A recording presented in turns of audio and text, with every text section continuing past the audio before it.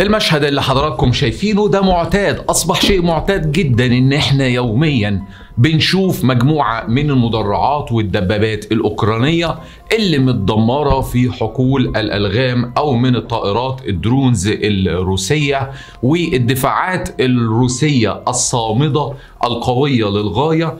اللي هي تعتبر مجبرة لدبابات ليوبارد والدبابات والمدرعات الغربية كاملة. سلام عليكم وأهلا وسهلا بحضراتكم. وعودة حميمة إلى الأستوديو. اللي أنا بحب أطلع منه لأن أنا كنت فعلا مسافر. كانش نفس الشكل اللي حضراتكم حتى بعض الناس علقت إن أنا كنت في الفيديو الأخير شكلي كان مرهق وده فعلا كنت مرهق. معلش المهم عشان نظرا لأن القناة كان معمول عليها حظر وتم إيقاف بس أي فيديو عليها لمدة أسبوع تحسبا لأي طوارئ لو حضرتك فاتح من الموبايل أو من الديسكتوب حضراتكم من الصفحة الرئيسية عندي على القناة هتلاقوا دي قناتي الاحتياطية.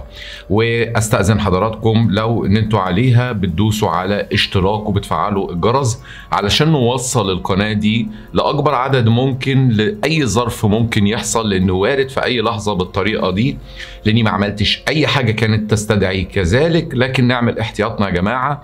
وعلى الفيديو الحالي اللي أنا ببثه لحضراتكم فضلا وليس امرا إن إحنا بس ندعم الفترة الحالية كل فيديو بأكبر عدد ممكن من اللايك علشان القناة ترجع تنشط تاني. ندخل كده في الموضوع. عندنا اللي بيحصل يا جماعة على أرض الواقع في المعركة الروسية الأوكرانية والخطوط الدفاعية الروسية غيرت من شكل المعركة الحقيقة. لو تفتكروا من أسبوعين اتنين قلت لحضراتكم حاجة. متوقع إن وزير الدفاع الأوكراني هيتشال وإن زيلينسكي هيشيل وزير الدفاع الأوكراني علشان يداري المشاكل اللي حصلت. والحاجة الثانية إن الحرب هتكون عبارة عن حرب مسيرات. أوكرانيا هتستخدم حرب نفسية ليس أكثر علشان تحاول إن هي تحفظ ماء الوجه أمام الغرب وهكذا. نفتكر كده ونبص على موضوع وزير الدفاع الأوكراني. قرر زيلينسكي امبارح إنه يغير وزير الدفاع الأوكراني الحالي Цього тижня парламенту буде запропоновано ухвалити й кадрове рішення. Хочу окреслити це зараз. Я вирішив провести заміну міністра оборони України. Олексій Резніков пройшов ці більш ніж 550 днів повномасштабної війни بالفعل زي ما حضراتكم شفتوا هو زيلينسكي كان بيتحدث عن أوليكسي ريزنيكوف اللي هو وزير الدفاع الأوكراني. وبيتكلم زيلينسكي على أنه غير منه وبيلمح أن الموضوع فيه عبارة عن قضايا ومشاكل مالية وفي سرقات حصلت بعد ما عمل معاه كل أوليكسي ريزنيكوف كل شيء في المعركة. من البداية لحد النهاردة ابتدى زيلينسكي يبين أمام الرأي العام والشعب بتاعه أن الراجل ده غير جدير بالمسؤولية وغير كفء للحرب الروسية الأوكرانية وكمان بيلمح إن الموضوع فيه قضايا فساد وقضايا قضايا مادية. النهارده وزير الدفاع الأوكراني ده قدم استقالته بالفعل. وفي الناحية الثانية زيلينسكي راح حاطط واحد اسمه روستوم أوميروف أمام البرلمان إن أنتوا ترشحوا لنا ده إن هو يبقى وزير للدفاع في أوكرانيا. خلينا بقى الموضوع ده يا جماعة مهم جدا لأنه بيعكس حاجتين. الحاجة الأولانية اللي بنتساءل هنا هل أوليكسي ريزنيكوف اللي هو كان وزير الدفاع اللي فات هل هو كان عندوش قضايا فساد ولسه دلوقتي زيلينسكي مكتشف بس قضايا الفساد بتاعته؟ هل زيلينسكي لسه عارف دلوقتي إن وزارة الدفاع الأوكرانية مليانة فساد؟ الفساد اللي موجودة في أوكرانيا بقى لها أكتر من تسع شهور. إحنا بنتكلم من شهر ديسمبر السنة اللي فاتت. يعني المفروض إن لما زيلينسكي شال مجموعة كبيرة من القادة العسكريين الأوكران بحجة الفساد المالي. لو كان أوليكسي ريزنيكوف فعلا هو متورط وأنا هنا ما بقولش هو متورط ولا مش متورط ده شيء يخصهم ولكن كان أبسط الأمور كنت أنت شلته. ولكن باين جدا إن زيلينسكي ما بيحاولش ان هو يشيل فعلا قضايا الفساد لأن قضايا الفساد موجودة منه هو على رأس الهرم اولا ولكن هو بيحاول يحفظ ماء الوجه للهزايم اللي موجودة. زيلينسكي بيتحدث على إنه بيحاول إنه يجدد الدماء بتاعه وزارة الدفاع الأوكرانية وتتغير أوجه المعركة. السؤال هنا اللي بيطرح نفسه هل وزير الدفاع الأوكراني أو أي وزير دفاع هو المتحكم في سر المعركة؟ بالطبع لا. منصب وزير الدفاع يا جماعة بيكون منصب سياسي أكتر ما هو منصب قتالي. دايما بيبقى رئيس أركان الجيش هو اللي متحكم في سر المعركة. دايما يا جماعة رئيس الأركان هو اللي ماسك الأمور دي. لكن النهاردة لما زيلينسكي بيحاول إنه يغير ويتكلم ويدعي على إن الموضوع أساسا عشان نغير من أوجه المعركة ده بيخدع الشعب وبيضحك على الناس. أما بقى بالنسبة لرستم عميروف اللي هو المرشح إنه يكون وزير الدفاع الأوكراني فالموضوع ده يا جماعة نقدر نقول إنه عبارة عن مثال للصورة اللي بتحصل في أوكرانيا إنه مثال فعلا على النظام اللي ماشي في أوكرانيا. مين رستم عميروف رستم عميروف ده من تتار القرم. زي ما حضراتكم عارفين لما اتكلمت قبل كده في فيديو كان عن يهود الخزر. تتار القرم دولت كان أيام الاتحاد السوفيتي وخاصة أيام ستالين تم نفيهم لانهم كانوا عاملين مشاكل كبيرة جدا في منطقة القرم. في منهم تم نفيهم في دول آسيا الوسطى وطبعا الاتحاد السوفيتي والبعض الآخر تم نفيهم في سيبيريا. الجزء اللي راح على آسيا الوسطى كان منهم رستم عاميروف اتولد في أوزبكستان في سمرقند في أوزبكستان. ولما تم حل مشاكل تتار القرم رجعوا في أواخر الثمانينات قبل حل الاتحاد السوفيتي. دايما تتار القرم طول عمرهم عاملين مشاكل وصداع سواء للروس أو سواء للأوكران. عشان بس الصورة تبقى عارف مين رستم عاميروف ده عشان ما تقولش آه ده مسلم ده هو اللي هيحل الموضوع لا ما تاخدش الأمور بصورة دينية لأن هو مش طالع رافع الراية الإسلامية عشان بس إيه قلبك يبقى أبيض كده. الموضوع مش موضوع خالص دين رستم عاميروف منتمي إلى تيار بيدعو دايما إلى دولة انفصالية للقرم. يعني تخيل إن زيلينسكي واخد واحد بيدعو إلى دولة انفصالية حتى عن أوكرانيا.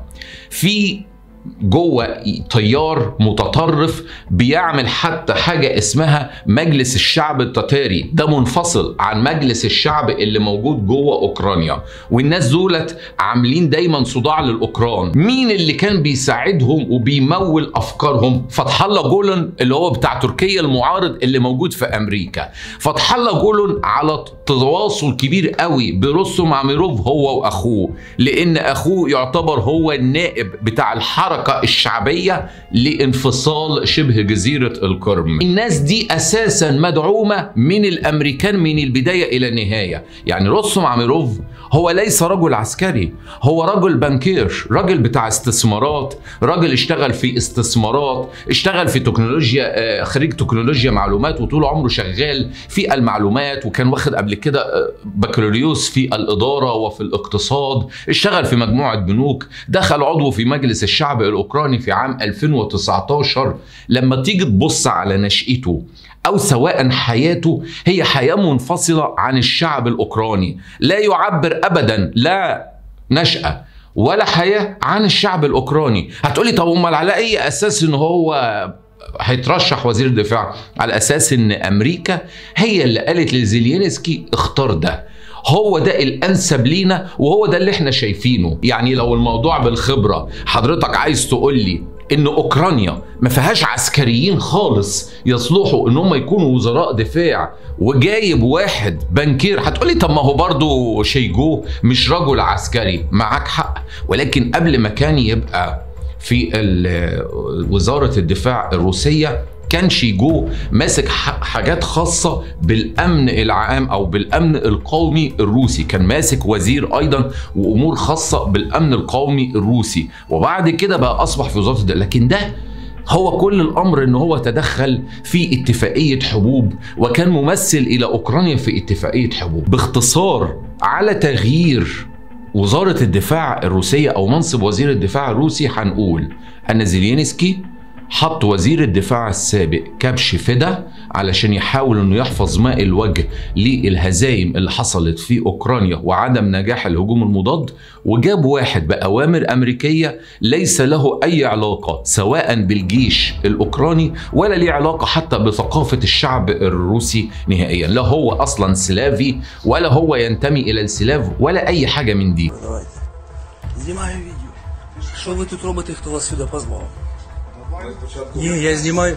Куда їхати? Хто, що ви робите на частній території? زي ما حضراتكم شفتوا في الفيديو ده برضو مجموعة من الاستدعاءات الجديدة اللي بتمارسها أوكرانيا أو عملية اختطاف للشباب الأوكران وإرسالهم إلى مراكز التدريب الأوكرانية النهاردة أوكرانيا بتعمل تعبئة جديدة في الجيش الأوكراني وده بيدل بيدل على إن أوكرانيا خسرت بشكل كبير جدا من الاحتياطي العسكري بتوعهم والجنود في الجبهة القتال. وبرضه ميدفيديف. النهارده ميدفيديف تحديدا امبارح تحدث على إن روسيا جندت ما يقرب من 280 ألف روسي في الفترة الأخيرة. بس ما كانش تجنيد إجباري كان تعاقدات عسكرية. مجموعة منهم كبيرة كانوا مجندين سابقين أو متطوعين سابقين في الجيش الروسي. وده من الجانبين بيعكس حجم الخسائر البشرية اللي حاصلة في الحرب دي. يا جماعة اوعوا تتخيلوا إن أنت الاخبار وهي هادية إن الوضع على جبهة القتال وضع عادي لا أبسط الأمور. كان غير الثلاث زوارق اللي كانت روسيا دمرتهم اللي كانوا عايزين يضربوا جسر القرم. النهارده روسيا أعلنت عن تدمير أربع زوارق صناعة أمريكية. كان عليها مجموعة من جنود المشاة البحرية الأوكرانية. كانوا عم عايزين يعملوا عملية إنزال على شبه جزيرة القرم ويعملوا مجموعة من الضربات. ولكن النهاردة روسيا سببت في أو دمرتهم بالكامل وقتلتهم بالكامل. ورغم كده أوكرانيا وصلت إلى خط دفاعي في قرية اسمها روبوتاين النهارده ال Wall Street Journal بتتحدث على إن أوكرانيا المهمة بتاعتها بس مش إنها توصل وتعمل عملية اختراق. بيتحدثوا على إن أوكرانيا تخترق الدفاعات الروسية. ده مين اللي بيتكلم؟ الول ستريت جورنال. بيقولوا إن اختراق الدفاعات الروسية بالنسبة للجيش الأوكراني مش هو ده بس الهدف الأخير.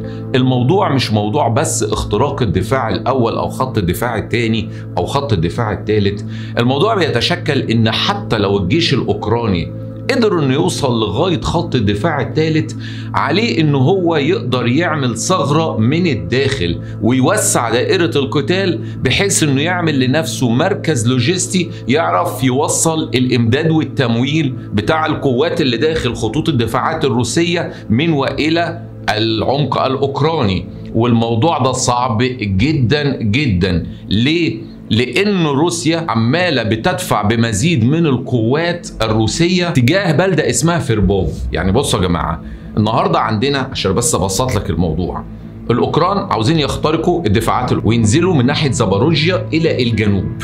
الموضوع مش مقتصر بس على إن القوات ديت توصل. ما هواش مثلا سباق جري وإحنا وصلنا خلاص لأ في إمداد وتمويل. لازم إن يبقى في خطوط بتودي أسلحة بتودي ذخيرة من اوكرانيا إلى المنطقة اللي أنت وصلت لها. صعب جدا.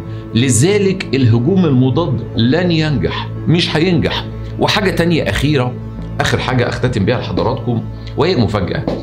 إن زيلينسكي أعلن إنه تواصل مع الرئيس ماكرون على إنه هيرسل طيارين يتدربوا على الطيران في فرنسا. طب ما هي فرنسا ما بتستخدمش طائرات. أمريكية ما بتستخدمش الطائرات الاف 16 هي حاجة من الاثنين يا إما فرنسا قررت لحد النهارده وما أعلنتش رسميا إنها هتدي أوكرانيا يا إما طائرات رافال يا إما طائرات ميراج 2000 القديمة. ده الطيران الرسمي بتاعهم.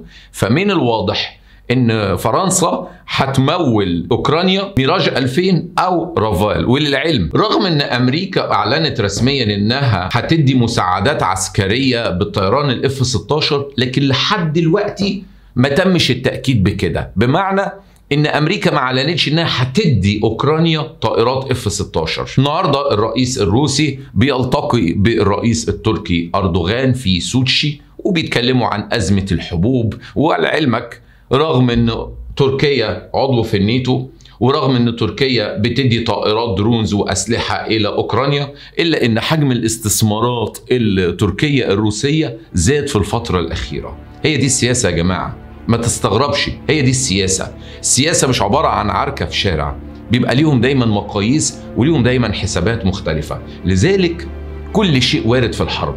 أي حاجة ممكن تتوقعها تحصل في أي لحظة. أتمنى المعلومات البسيطة دي تكون نالت إعجاب حضراتكم وبشكركم جدا جدا على المشاهدة. يا ريت الدعم في الفترة الحالية مهم جدا يا جماعة باللايك ولو أول مرة تشوفني تشرف وتنور بالاشتراك في القناة. سلام عليكم.